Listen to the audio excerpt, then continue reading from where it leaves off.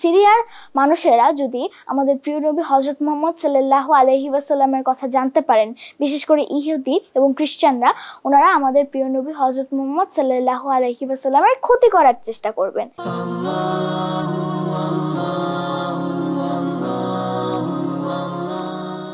আসসালামু আলাইকুম।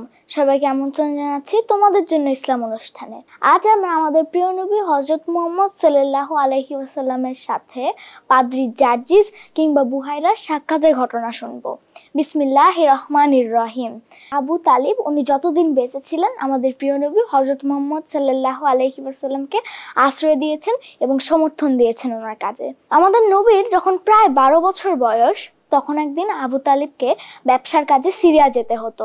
যারা ব্যবসায়ী ছিল সেই সময়, তাদের একটা নিয়ম ছিল যে বছরে অন্তত একবার হলেও সিরিয়াতে ব্যবসার কাজে যেতে হবে। আমাদের প্রিয় নবী হজরত মোহাম্মদ সাল্লাহ আলাইহি ওয়াসাল্লাম ওনার চাচার কাছে বায়না ধরেন যে ওনাকেও যেন সঙ্গে করে সিরিয়া নিয়ে যাওয়া হয়। তালিব তো আর আমাদের প্রিয় নবীর বায়না ফেলতে পারলেন না, তাই ওনাকে উনি সঙ্গে করে সিরিয়ায় নিয়ে গেলেন। সিরিয়ায় বুসা নামক এক স্থানে ওনারা যখন থামলেন, তখন এক পাদ্রি ছিল সেই সময়। সেই পাদ্রির এক গির্জা ছিল।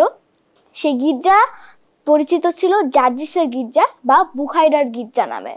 জার্জিস একজন ধর্মগ্রন্থের বিশেষজ্ঞ ছিলেন এবং উনি জানতেন যে ইসলামের শেষ নবীর নাম হবে মোহাম্মদ সাল্লাহ আলহিউসাল্লাম এবং ওনার জন্ম হবে আরবে। জার্জিসের গির্জার পাশেই কিন্তু আবু তালিব, আমাদের প্রিয় নবী হজরত মোহাম্মদ সাল্লাহ আলহি আসাল্লাম সহ অন্যান্য ব্যবসায়ীরা ওনাদের তাবু গেঁথেছিলেন এবং জাজিস ওনাদের সকলের মেহমানদারি করেছিলেন। সেই সময় ওনার আমাদের বিশ্বনবীর সঙ্গে সাক্ষাৎ হয় এবং উনি যত ধর্মগ্রন্থ পড়েছেন সেখান থেকে উনি আমাদের সেই ছোট্ট মুহাম্মদকে চিহ্নিত করতে পারেন ইসলামের সেই শেষ নবী হিসেবে। তখন উনি আবু তালিব ও আমাদের বিশ্বনবীকে ওনার বাড়িতে দাঁত করেন রাতের খাবারের জন্য। এবং সেই সময় উনি আবু তালিবকে সব কিছু খুলে বলেন। এবং উনি এটাও বলেন যেন তাড়াতাড়ি ওনারা সিরিয়া ত্যাগ করেন। কেননা সিরিয়ার মানুষেরা যদি আমাদের প্রিয় নবী হজরত মোহাম্মদ সাল্লাহ আলহি ওয়াসাল্লামের কথা জানতে পারেন, বিশেষ করে ইহুদি এবং খ্রিস্টানরা, ওনারা আমাদের প্রিয় নবী হজরত মোহাম্মদ সাল্লাহ আলহি ওয়াসাল্লামের ক্ষতি করার চেষ্টা করবেন। এবং বুহাইরার পরামর্শ অনুযায়ী আবু তালিব আমাদের প্রিয় নবী হজরত মোহাম্মদ সাল্লাহ আলহি ওয়াসাল্লামের সঙ্গে সিরিয়ার ব্যবসায়িক কাজ তাড়াতাড়ি করে সমাপ্ত করে মক্কায় ফিরে যান। আমাদের প্রিয় নবী হজরত মোহাম্মদ সাল্লাহ আলহি ওয়াসাল্লামের জীবনী ও মোজেজা নিয়ে আমরা যতই জানব, তত আমাদের ইমান আল্লাহ রাব্বুল আলমিনের প্রতি বিশ্বাস দৃঢ় হবে ও শক্তিশালী হবে।